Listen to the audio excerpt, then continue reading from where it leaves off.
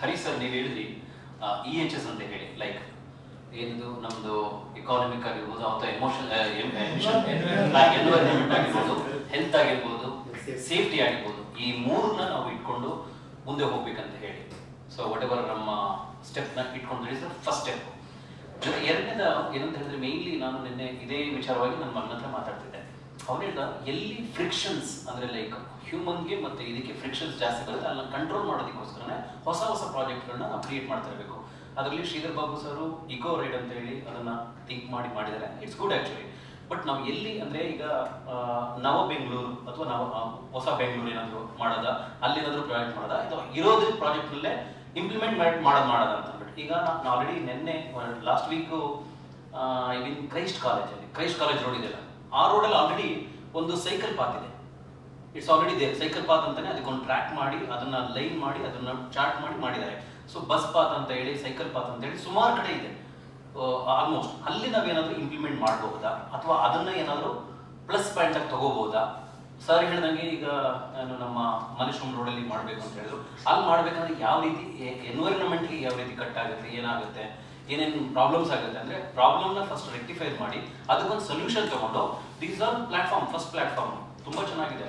So Sridhar sir ಹೇಳಿದ ತಕ್ಷಣ sir ಒಂದು ಮೀಟಿಂಗ್ ಮಾಡೋಣ ಅಂತ ಹೇಳಿ ಅವ್ರು ಸರ್ ಎಲ್ರಿಗೂ ಫೋನ್ ಮಾಡಿ ಎಲ್ಲರೂ ಗ್ಯಾದರ್ ಮಾಡಿದ್ರು it's really great it's next achievement ನಮಗೆ ಪೇಟೆಂಟ್ ಬಂದಿದ್ದೆ ಒಂದು ಅಚೀವ್ಮೆಂಟ್ ಅಂತ ಹೇಳೋದು ರಿಯಲಿ ಸೊ ಇದನ್ನ ನೆಕ್ಸ್ಟ್ ಲೆವೆಲ್ಗೆ ಒಂದು ಬೇಸ್ ಲೈನ್ ಹಾಕೊಂಡು ಪಾಸಿಟಿವ್ಸ್ ಏನಿದೆ ನೆಗೆಟಿವ್ಸ್ ಏನಿದೆ, ಆ ನೆಗೆಟಿವ್ಸ್ನ ಯಾವ ರೀತಿ ರೂಲ್ಡ್ ಔಟ್ ಮಾಡ್ಬೋದು ಪಾಸಿಟಿವ್ ಎಷ್ಟು ಪಾಯಿಂಟ್ ಬರುತ್ತೆ. ಅದನ್ನು ತೊಗೊಂಡು ಹೋಗ್ಬಿಟ್ರೆ ಖಂಡಿತವಾಗ್ಲೂ ನೀವೇ ಗೌರ್ಮೆಂಟ್ ಇಲ್ಲಿ ಇರುವಾಗ ರೂಲ್ ಮಾಡೋರು, ನೀವು ಈಸಿಯಾಗಿ ತಗೊಂಡಾಗ ಅಪ್ರೋಚ್ ಮಾಡಿದ್ರೆ ಖಂಡಿತವಾಗ್ಲೂ ಇದನ್ನ ನೆಕ್ಸ್ಟ್ ಲೆವೆಲ್ ತಗೊಂಡೋಗ್ಬೋದು ಅನ್ನೋದೊಂದು ಈಗ ಆಲ್ರೆಡಿ ನಮ್ಮ ಕ್ರೈಸ್ಟ್ ಕಾಲೇಜ್ ರೋಡ್ ಅಲ್ಲಿ ಇರೋದ್ರಿಂದ ಅದನ್ನ ನಾವು ನೋಡ್ಕೊಂಡು ಯಾವ ರೀತಿ ಆಗುತ್ತೆ, ಯಾವ ರೀತಿ ಇದೆ.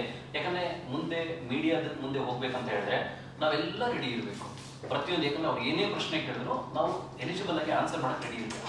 ಯಾವುದಾದ್ರೂ ಒಂದ್ರಲ್ಲಿ ಫೇಲ್ಯೂರ್ ಆಯ್ತಂದ್ರೆ ಸೊ ಅದು ನೆಗೆಟಿವ್ ನಾವೆಲ್ಲ ಅಪ್ರೋಚ್ ಮಾಡ್ಬೇಕು ಸ್ಪ್ರೆಡ್ ಮಾಡಿ.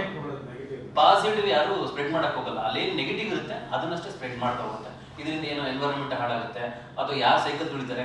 ಈಗ ವಾಕ್ ಪಾತ್ ಇದೆ ಈ ಕಡೆಯಿಂದ ಆ ಕಡೆಗೆ ಮೇಲ್ಗಡೆ. ಅದನ್ನೇ ನಾವು ಎಷ್ಟೋ ಜನ ಯೂಸ್ ಮಾಡ್ತಾ ಇಲ್ಲ ಸ್ಕೈ ವಾಕ್ ಅದ್ರ ಬದಲಾಗಿ ಹೆಂಗೋ ನಡ್ಕೊಂಡು ಓಡೋಗ್ಬಿಟ್ಟು ಜಂಪ್ ಮಾಡ್ಬಿಡ್ತಿದೆ ಈಗ ಮೇಲ್ ಹತ್ತಿ ಸೈಕಲ್ನ ಹೇಗೆ ರೈಡ್ ಮಾಡ್ಕೊಂಡು ಹೋಗ್ತಾರೆ ಇದನ್ನೆಲ್ಲ ಯೋಚನೆ ಮಾಡಿ. So will take in next level thank you Sridhar it is a wonderful initiative. Sir, Skywalk is controlled by the entertainment boards, Uh-huh. not for use. Okay. Eco ride is not, is controlled by uh, all eco ride people. Use model.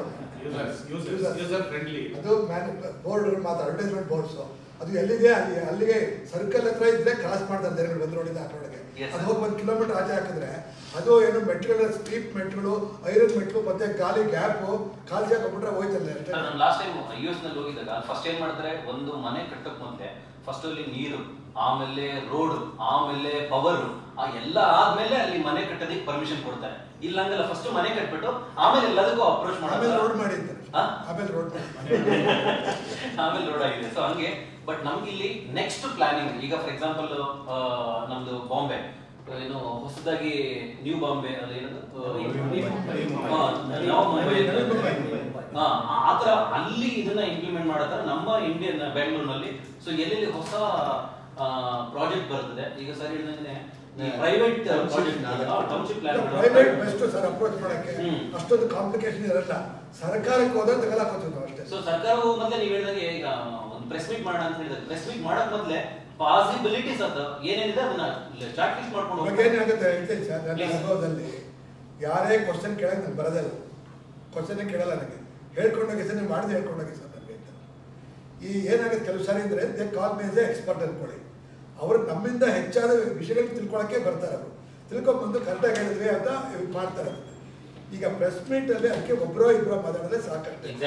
So ಅದಕ್ಕೆ convincing ಇರಬೇಕು pressure ಇರಬೇಕು ಅದು ಅವ್ರಿಗೆ ಹಾಕಲೇಬೇಕು ಆ ಥರ ಮಾಡ್ಬೋದು ಅದನ್ನ. ಇದಾಳೆ very big deal yes sir yes sir ಯಾಕಂದ್ರೆ ಅದು ಒಂದ್ಸರಿ ನಾವು ಸೊಸೈಟಿಗೆ ಹೋದ್ಮೇಲೆ ವಿ ಹ್ಯಾವ್ ಟು ಇಂಪ್ಲಿಮೆಂಟ್ ಮಾಡಬೇಕು. ಇಲ್ಲಾಂದ್ರೆ ಅದು ಮೊದ್- ಮತ್ತೆ ನಾವೆಲ್ಲ ಪ್ಲಾಟ್ಫಾರ್ಮ್ ಐಡಿಯಾ ಏನ್ ಮಾಡ್ಬೇಕು ಅಂತ ಇದ್ದೀರಾ? ಅದು ಹೇಳಿ ಸರ್. ಬಹಳ ಇಂಟ್ರೆಸ್ಟಿಂಗ್ ಟಾಪಿಕ್ ನಾಳೆ ಬರಬಹುದಾ ನಾವು ಅದಕ್ಕೆ. ಇಲ್ಲ ಎಲ್ಲ ಬರ ಕೇಳ್ತೀನಿ ಅಂದ್ಬಿಟ್ಟು ಕೇಳದೆ ಅವ್ರನ್ನ ಇಲ್ಲ ಬೇಡ ನಾಳೆ ಬರೋದು ಬೇಡ. ನಾಳೆ ಮೀಟಿಂಗ್ ಡಿಸೈಡ್ ಮಾಡೋಣ because we are in a group ನಾವು so everyone should be discuss positively then we can go head so ಅದರಿಂದ ಬೇಡ ಅಂತ ಹೇಳಿದ್ರು ಬಿಟ್ಬಿಟ್ಟೆ ನಾನು ಸೊ ಕೇಳ್ತಾರೆ. ಎರಡು ಫೋನ್ ಬಂದಿದ್ದೆ ಅವಲೇ ನನಗೆ. ಇದರಲ್ಲಿ ಇಟ್ಟಿದ್ದೀನಿ ನಾನು. ಬೋರ್ ಕೇಳಿ ಬೋರ್ನೇ ಬಾಯ್ ಕೇಳಿ. ಅವ್ರು ಮಾತಾಡ್ತೀನಿ ಇಲ್ಲೇನೆ ಮಾತಾಡ್ತೀನಿ ಅಂತ ಹೇಳಿದ್ರು. ಸುಮ್ಮನೆ ಫೋನ್ ಮಾಡ್ತಿದ್ರೆ ಮತ್ತೆ ತೆಗೆದಿಲ್ಲ ನಾನು. ಸೊ ಅವ್ರು ಜನರಲಾಗಿ ನಾಳೆ ನೇರ ಹಿಡ್ಕೊತಾರೆ ನನಗೆ ಅವರು. ಅಲ್ಲ, ಅದು ಈ ಸ್ವಲ್ಪ ಸದ್ಯಕ್ಕೆ ಹಾ, ನಮ್ಮ hold ಮಾಡೋಣ, follow-up ಮಾಡೋಣ. ಯಾಕಂದ್ರೆ ನಾವು ಇನ್ನೂ ಏನು ಒಂದು ಇಲ್ಲಿ ಏನಂದ್ರೆ ನಮಗೆ ಇಕೋ ರೈಡ್ ಅಂತ ಬಂದಾಗ ನಮ್ದು ನೈಸ್ ರೋಡ್ ಆಲ್ರೆಡಿ ಅಲ್ಲೆಲ್ಲ ಆ ಕಡೆ ಏನಾದ್ರು ಮಾಡ್ಬೋದು. ಅಂದ್ರೆ peripheral road outer ring road ಈ ತರ ರೋಡ್ಗಳಿದೆಯಲ್ಲ ಆ ರೋಡ್ ಇಂದ ಕನೆಕ್ಟಿವಿಟಿ ರೋಡ್ ಕೊಡೋದ? ಅಥವಾ ಲಾಂಗ್ ರನ್ ಏನಾದ್ರು ಸೈಕಲ್ ತಗೊಂಡು ಅಲ್ಲೆಲ್ಲ ಹೋಗ್ತಾರ? ಅಂದ್ರೆ ಯಾವ ರೀತಿ ರಸ್ತೆ ನಾವು ಬೇಸ್ಟ್ ಲೈನ್ ಅಂತ ಯಾವ್ದು ತೀರ್ಮಾನ ಮಾಡಿಲ್ಲ ಇದು ಡಿಸ್ಕಷನ್ ಇದೆ. ಯಾರು ಸಲಹೆಗಳು ಕೊಡ್ತಾರೋ ಅದರ ಮೇಲೆ ಬಿಲ್ಡಪ್ ಮಾಡಿ yes sir thank you sir thanks for the opportunity talk thank you ಸಲಹೆ ಕೊಡ್ತೀನಿ ನಾನು. Please sir. ನೀವು ಯಾರಾದ್ರೂ ಒಂದಷ್ಟು ಜನ ವಾಚಕರವಾಣಿನಲ್ಲಿ ಬರ್ತಾರೆ ಸರ್ ಪತ್ರ ವಾಚಕರವಾಣಿ ರೀಡರ್ಸ್ ರೀಡರ್ಸ್ ಏನ್ ಪತ್ರ ಬರೀಬೇಕು ಅಂದ್ರೆ ಇದು ಬೆಂಗಳೂರಿನಲ್ಲಿ ವರ್ಟಿಕಲ್ ಹಾರಿಜಾಂಟಲ್ ಆಗಿ ಪಾಪ್ಯುಲೇಷನ್ ಜಾಸ್ತಿ ಪಾದಚಾರಿಗಳಿಗೆ ಓಡಾಡೋದು ಕಷ್ಟ ಇಲ್ಲ. ದಯವಿಟ್ಟು ಇದನ್ನ ಹೇಗೆ ಸರಿಪಡಿಸ್ಬೋದು ಅಂತ ಒಂದು ನಾಲ್ಕು ಜನ ಬರೀರಿ ಸುಮ್ಮನೆ ಬರೀರಿ ಅವ್ರು ನಾವು ಕಟಿಂಗ್ಸ್ ಇಟ್ಕೊಂಡು ನಾವೇ ಸೊಲ್ಯೂಷನ್ ಕೊಡ್ತೀವಿ.